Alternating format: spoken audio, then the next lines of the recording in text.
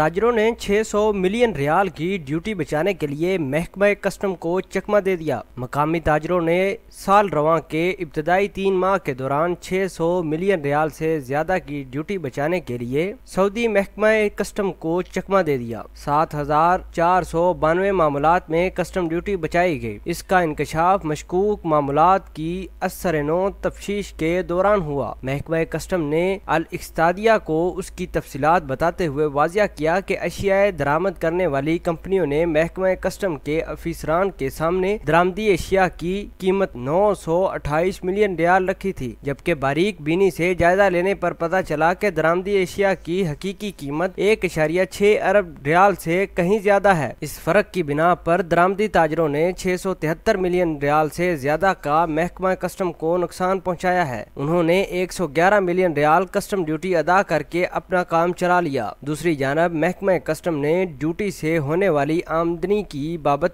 بتایا کہ سال رواں کی پہلی سی ماہی کے دوران چار اشاریہ سات ارب ریال کی آمدنی ہوئی، جبکہ دو ملین ریال سے زیادہ جرمانوں کی مد میں وصول کیے گئے۔ مملک کا اسرائیلی خلاف ورزیوں پر احتجاج۔ اقوام متحدہ میں متعین سعودی سفیر ڈاکٹر عبدالعزیز الواصل نے غزہ اور غرب اردن میں پرامن مظاہرین کے خلاف طاقت کے بیجا استعمال پر اسرائیل کی مذمت کی ہے، جس سے سو سے زائد فلسطینی شہید اور تین ہزار سے زائد زخمی ہو چکے ہیں۔ سعودی سفیر نے جینوا میں انسانی حقوق کونسل کے سامنے مملک کا موقف پیش کیا۔ محیل میں زبردست آتش زدگی محیل اسیر میں بحرہ ابو سکینہ روڈ پر بجلی کے کھمبے میں زبردست آگ لگ جانے پر ٹرانسفارمر کا کنیکشن ٹوٹ جانے سے صارفین بجلی سے محروم ہو گئے۔ شہری دفاع کے اہلکاروں نے آگ پر قابو پا لیا۔ آگ نیچے سے اوپر کی جانب پھیلی تھی اور ٹرانسفارمر تک پہنچ گئی تھی۔ المرائی نے ڈیری مصنوعات کے نرخ بڑھا دیے۔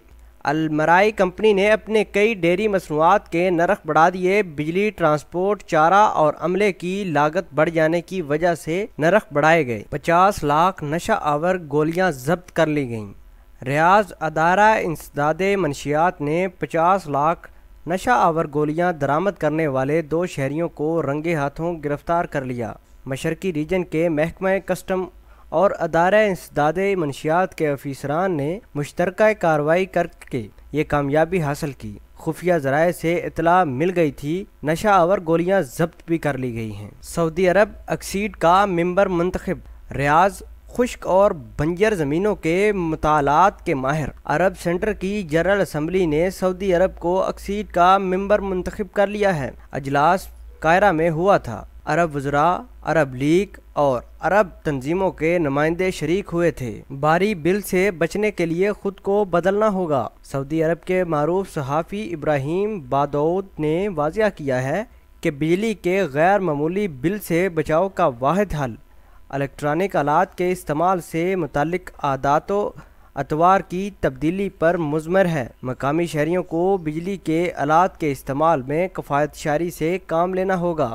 خصوصاً ایئر کنڈیشن ضرورت کے وقت ہی استعمال کیے جائیں۔ جو شخص بھی اس حوالے سے اپنے طور طریقے بدلے گا، اس کا اگلا بل کم ہی ہوگا۔ مزدوروں کے لیے آن لائن ویزوں کا اجرا وزارت محنت و سماجی بہبود نے مزدوروں کے لیے آن لائن ویزوں کے اجرا کی سہولت فراہم کر دی۔